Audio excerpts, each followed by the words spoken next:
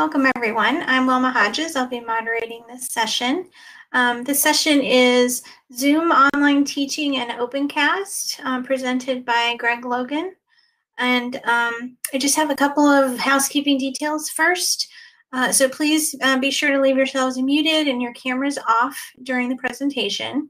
If you'd like to ask a question, uh, please wait until the question and answer portion of the presentation, or you can use the shared notes in the left above the user list to type your question in there at any point during the, the presentation. Please uh, try to use the chat box only for chat, not for questions. That way we can find the questions a little bit easier. And if you have any technical issues, please let send me a direct message. Um, my name's Wilma Hodges over on the left-hand side. You can direct message me and I'll try to assist you if I can. So uh, with that, I'm going to turn it over to Greg. All right, thank you, Wilma. I'm uh, I'm Greg Logan, and I am here to talk to you today about a project I did for one of our major adopters and gluing everything together. So, quick little bit of quick background about me. Um, I'm one of the original developers that was working on OpenCast. It's been 11 years now, which time flies when you're having fun. It really doesn't feel like that long. Um, for the last few years, I've actually been an independent consultant. My primary gig has been the QA slash community coordinator role within the OpenCast project.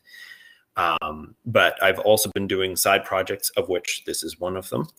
I have worked in the last 11 years um, for multiple of our major adopters, either full or part time, most of the time part time, but you know, um, it works out really well so that's sort of me.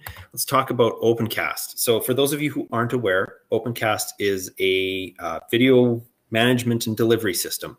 You feed in usually large high bitrate media, although it doesn't have to be large high bitrate media. It can be whatever you want um, from basically whatever you want. Um, traditionally, in the before times, we used um, fixed classroom infrastructure, so large cameras, or um, in the case of some of our adopters, they actually had camera crews in the classrooms pointing at things. But it could be things like OpenCast Studio, which uh, was talked about in one of the lightning talks yesterday. It's a web-based, uses your webcam and whatever microphone you happen to have lying around.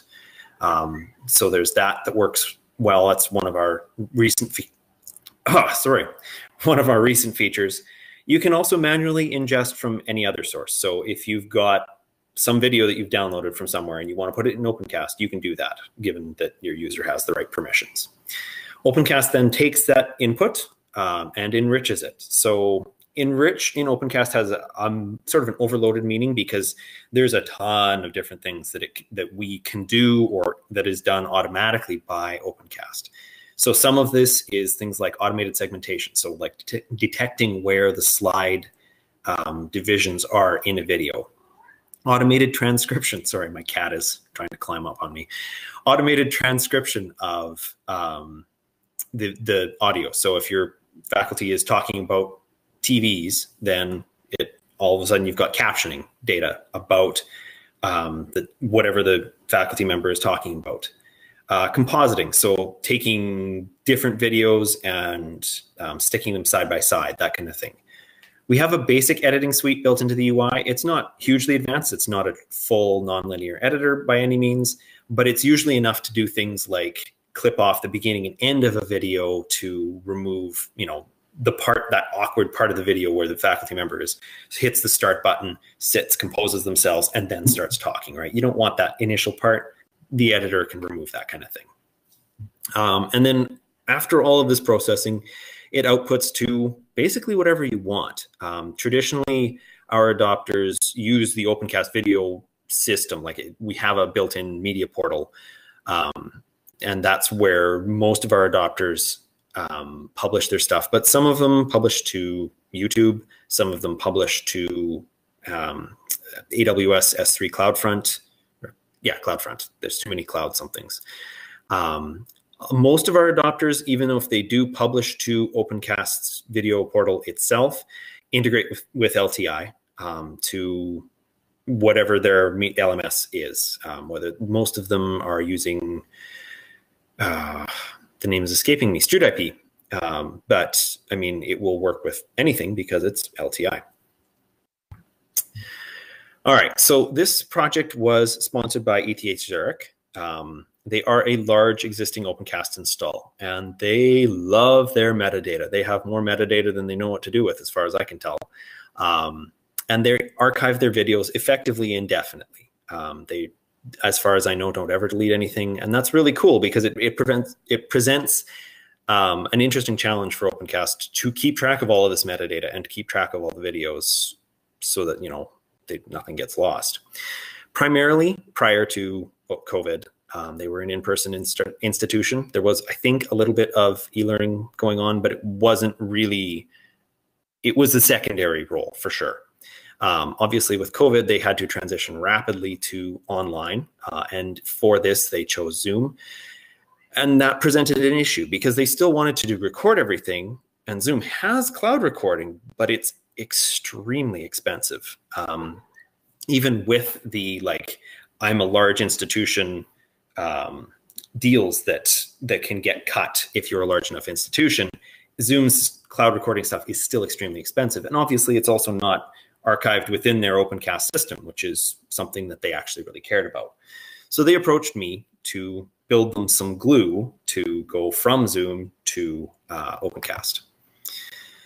So let's talk a little bit about Zoom. I don't know, you, you may or may not have used Zoom before. Um, Zoom's ability to search through their cloud recordings, I think, is really not very good. Um, the recordings disappear from, like, if you look at your user's set of recordings, they disappear after, I think, a week or two, which might not sound like much, but a lot of their, a lot of ETH's students would go back at the end of term and want to be able to rewatch a big chunk of those lectures.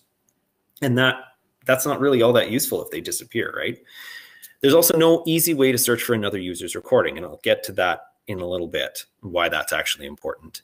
There's also no way to search by title, only date, and only within a given user's silo. So to find Professor X's video, you have to A, find Professor X, and then also know what the date of the video is, which isn't really all that useful for a lot of students.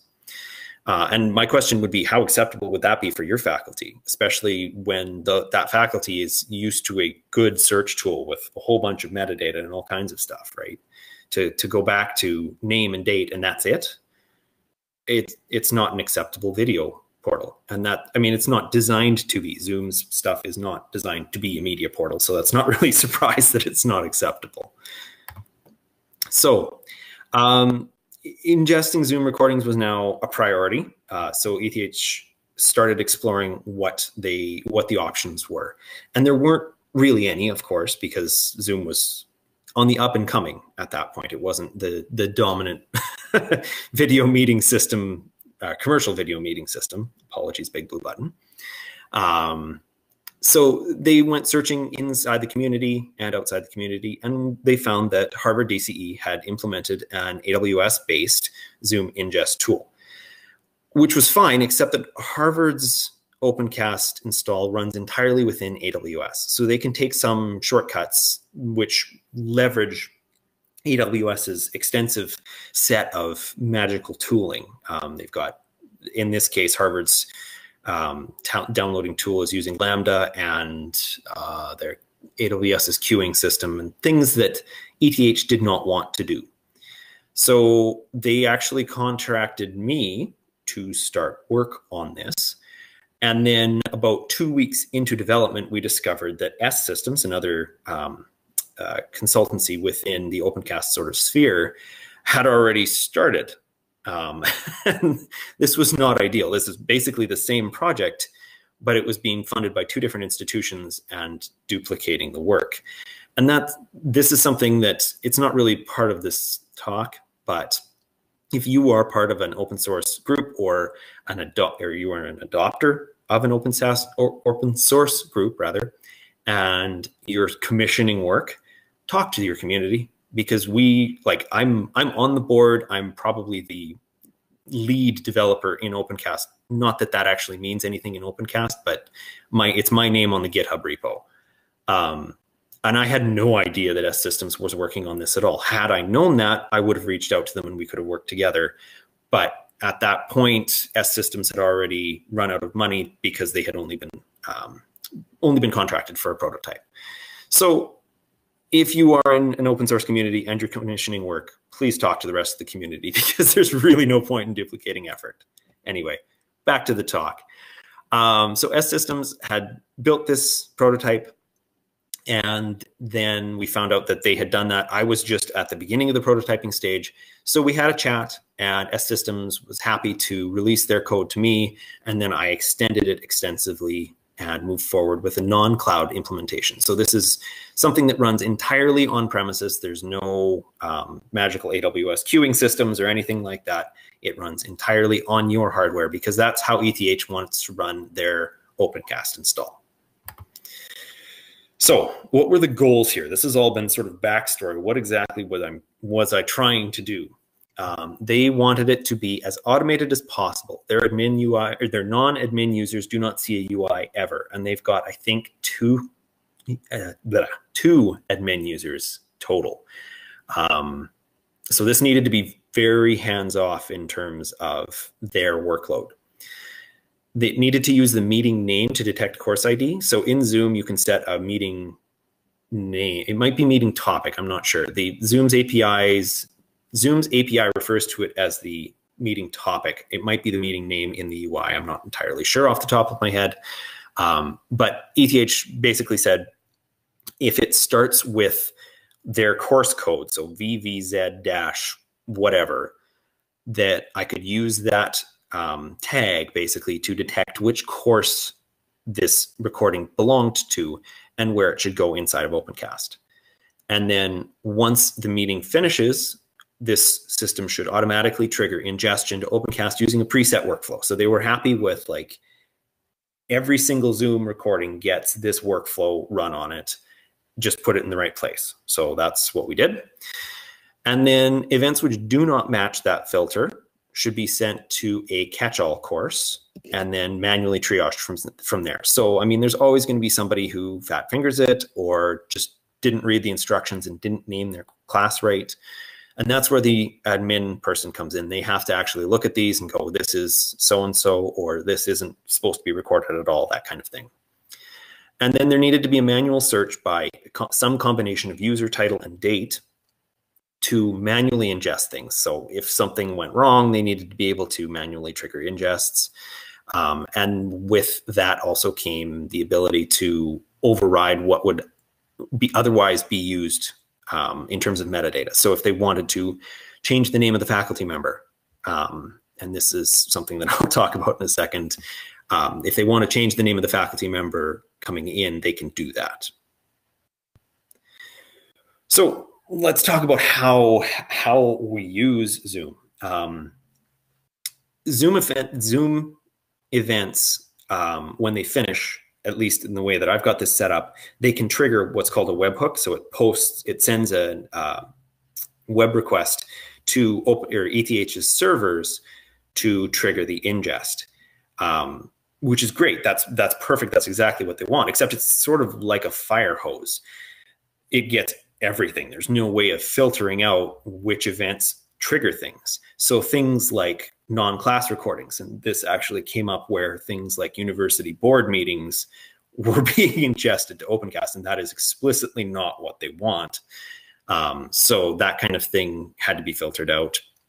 Things like students being given permission to create their own um, ad hoc classrooms and then recording them, that's fine, that's great, but it's not something that should go into the official um, official university-wide portal.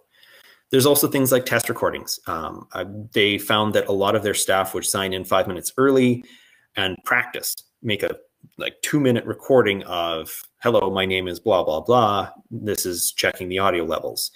That's great. That's what they want. But they also don't want those being posted to the classroom, um, basically posted to the classroom's wall. So that kind of thing needed to be filtered out. Um, there was also the fun part of who schedules, and I just realized that that's there's an apostrophe in there that's not supposed to be there. Who schedules your faculty's Zoom meetings?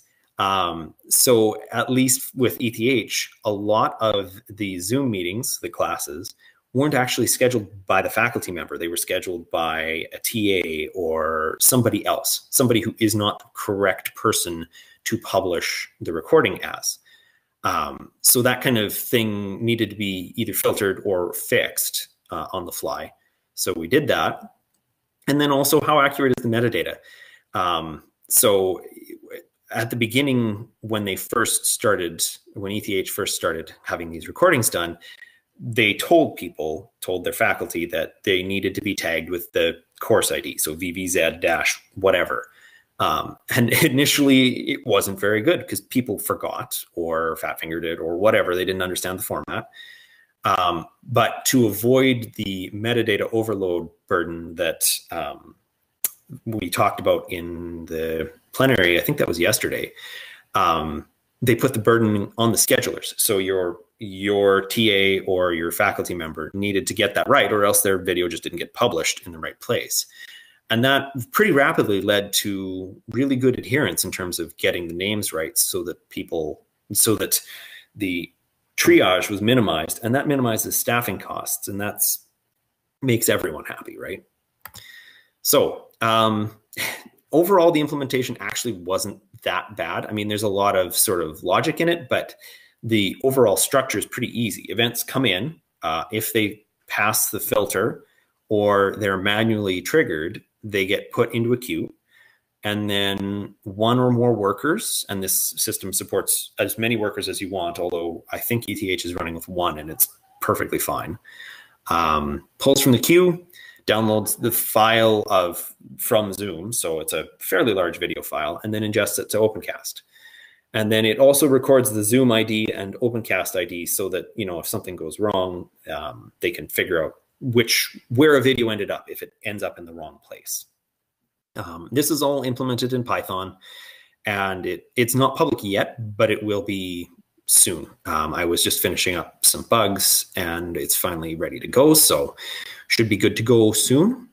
Um, this right now it's built around Zoom uh, and OpenCast, but realistically, there's no no strong reason that it has to be Zoom specifically. It would be fairly easy to swap this out for, say, Teams or any of the other major um, video meeting systems that are out there. Um, so, like, that's all well and good. What what's the point of this talk? Um, the point is that Zoom is really expensive and Zoom effectively holds your data hostage if you leave it there, right? I mean, you put it there and as long as you keep paying them, they'll leave it there. But as soon as you stop paying them, and that's a fairly large amount of money, uh, it goes away. And that's not something you necessarily want as a university. Your institution, it should be your data. Open source, open source software in this case means that we can pivot quickly um, this whole thing was developed by effectively one guy over the course of, I think it was two and a half months, something like that. And it means that small teams can make a big impact, right? I mean, this is a major university that couldn't archive their stuff until I got this done. So pull requests are always welcome because when you're in open source, you you want to work with the community. You don't want to have to wait for your vendor to get up off their butt and do things. You want to be able to do it yourself. And that's where open source comes in. Also means you can deliver it how you want it. Um, I don't know if Zoom was charging ETH for transit, like if, if people were streaming video from ETH, from Zoom, did ETH get charged for that? I don't know, but there's certainly ways to do it cheaper than Zoom is probably, um, especially if they're marking it up, which I'm sure they would be. Um, and it also means that you can deliver it offline. You can make the video downloadable as a podcast type thing. You can make the video downloadable as a streaming thing where it's well protected and impossible to copy. It also lets you get some accessible things in there. Um, I think Zoom has some closed captioning, but I imagine it's not cheap.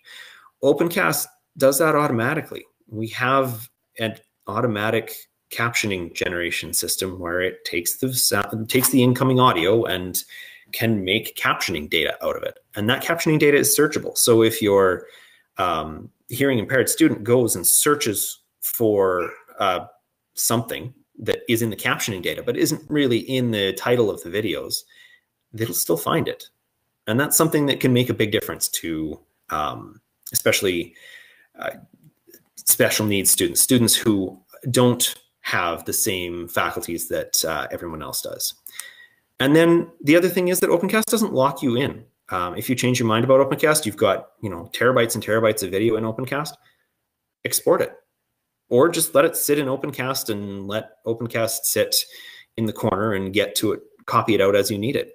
There aren't any licensing fees in OpenCast, and aside from whatever costs you might have in terms of keeping the the hard drive spinning and that kind of thing, we don't charge you. You get the system for free, and you can change it however you want and add to it and be part of the community. And if you want to leave the community, that's fine too. We'll help you with that. And that's something that, especially with some of the other vendors that are out there, well, that doesn't always go so well.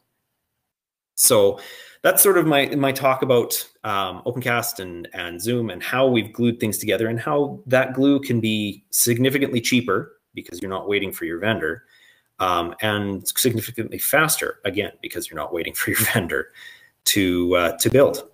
So I think that was yeah, that was about 20 minutes, pretty much on the nose. So that's pretty good. Any questions, comments?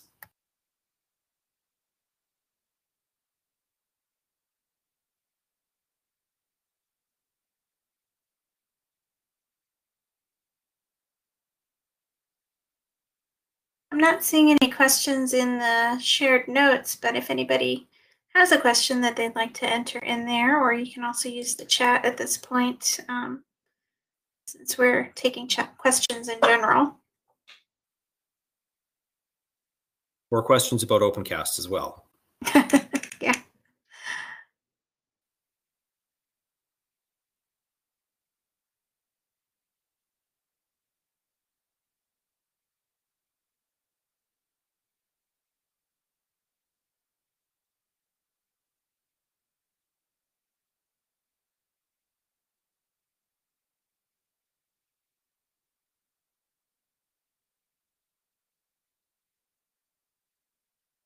Okay, it looks like you were sufficiently thorough that nobody has any questions.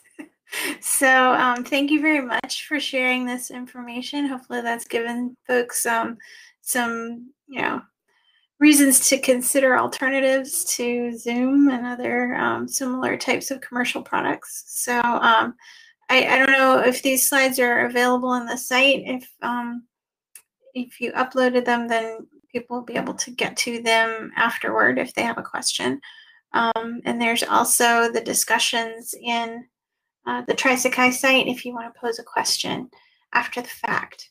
Um, so I think, let me just look at the schedule really quick here. Um, I believe we have one more set of lightning talks. Yes, the last set of lightning talks is coming up at 1255. So about um, 10 minutes or so from now. Uh, so that will be the, the last um, general session. Um, we are having a happy hour in um, something called Gather Town. So if you're interested in socializing with fellow attendees, um, that's happening at 1:45 following the lightning talks.